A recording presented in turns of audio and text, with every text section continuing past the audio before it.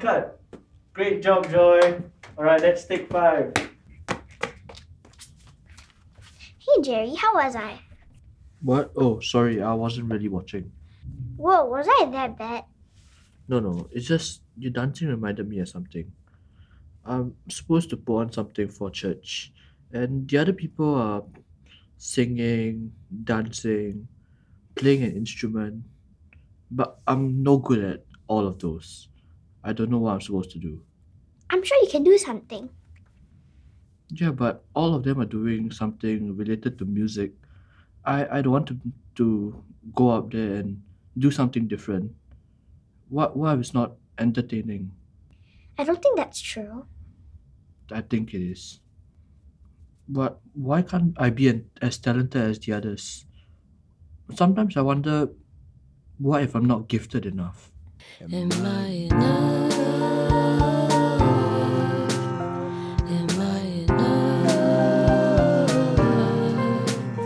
Am I enough? Am I enough?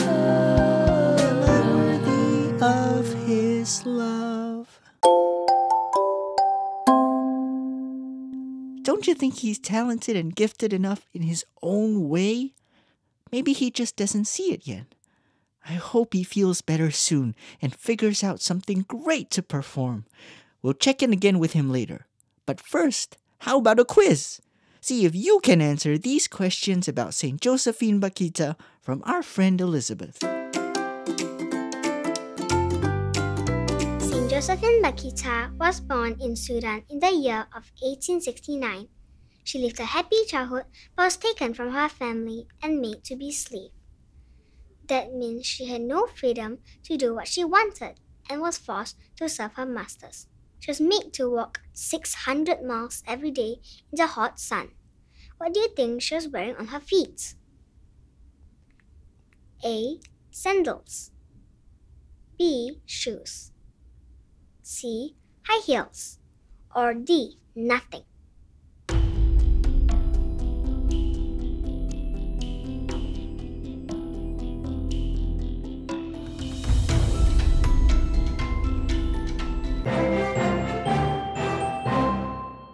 Correct answer is nothing. She had to walk barefoot over 600 miles. That's almost like walking around the whole of Singapore five times.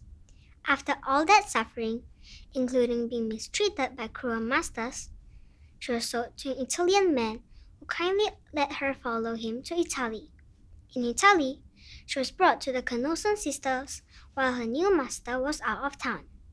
It was there that she learned all about God.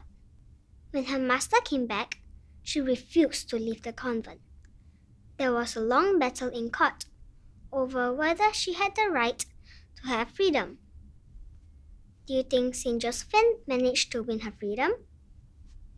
Yes or no?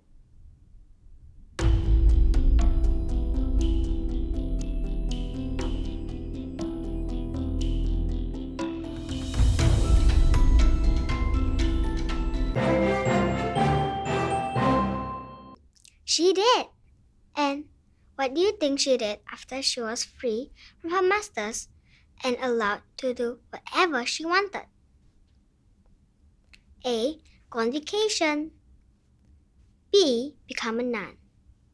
C. Earn lots of money. D. Become an artist.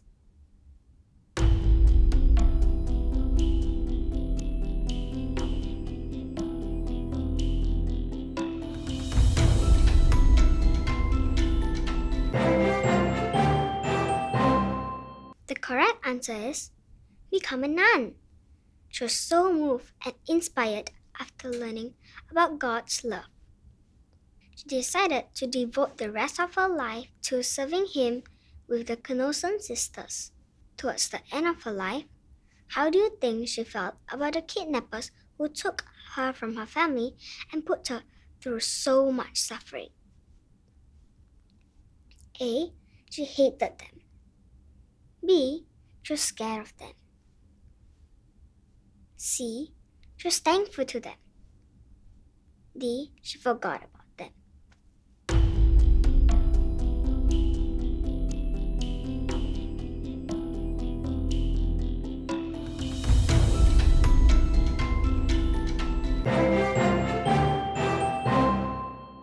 The correct answer is she was thankful to them. Isn't it amazing? She was thankful because if she hadn't become a slave, she might have never arrived in Italy and learned about Jesus. That's how powerful God really is. St. Josephine Bakhita believed all the terrible things she went through was worth it. Just to know Jesus and to learn about Him and experience His love.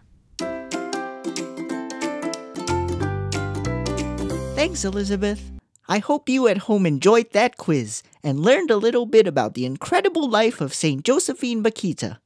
Did you know that this week we celebrate the feast of Corpus Christi? This is a day that we remember God's amazing gift of His real presence in the Eucharist, the body and blood of Christ. We can receive Him during Mass when we're old enough and be with Him in adoration whenever we need Him for love and guidance. Now let's see how Jerry is doing. Jerry, of course you're good enough.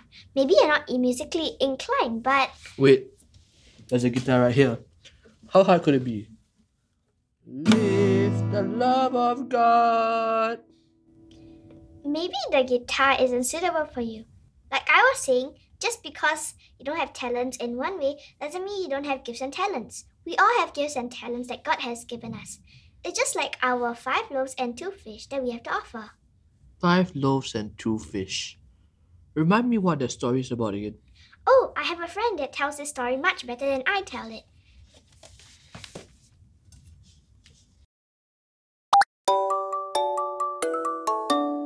Hello everyone, I am Deacon Simon, and come June 24th, I will be ordained as a priest. This Sunday, we hear the Gospel from Luke on five loaves and two fish as we celebrate the feast of the most holy body and blood of Christ. And the disciples thought that they do not have enough to feed the crowd of 5,000 men and women and children besides.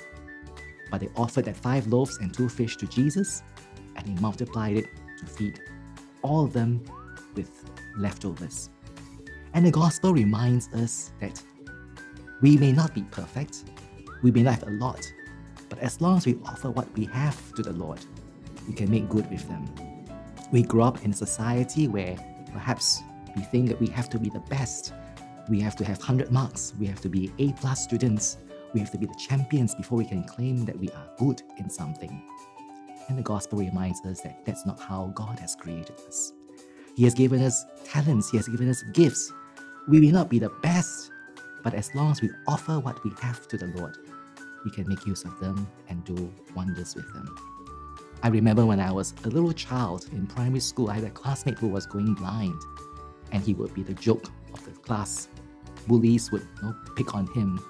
And there was just one day he just turned around and he says, For the love of Jesus, I forgive you. And that simple phrase struck me. And it made me think that, hey, who is this Jesus? That someone is willing to forgive those who bullied them for the love of Jesus. And I started to find out who this Jesus is, and that's how my own faith grew. So we may not think that we have a lot, but as long as we offer what we have to Jesus, He can be able to do wonders with them. And that's what the gospel invites us today. So, you see, even if you feel like your gifts are not enough, it's always enough for Jesus because He can take them and multiply them. And He can do great things with them. Hmm. That's a really good point, Joy. I'll think about it. Thanks for the advice. My pleasure.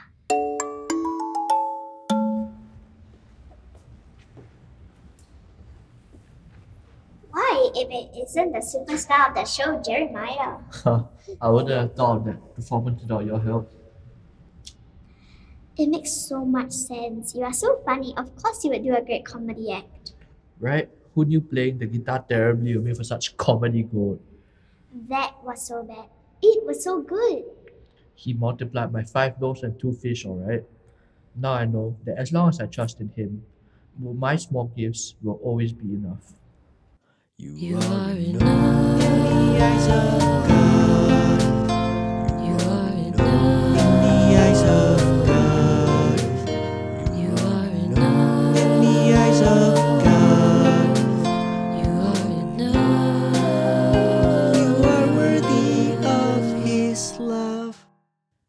Enough. You are. That's enough for Jesus. I hope you've enjoyed coming on this adventure with us and listen out for the story of the five loaves and two fish in this weekend's gospel.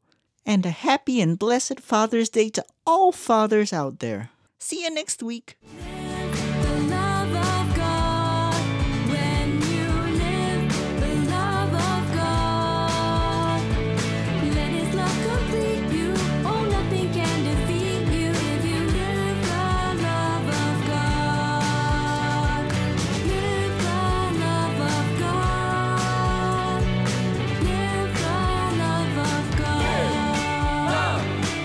The love of God. Live, love, live the love of God. Live, love, live the love of God. Live, love,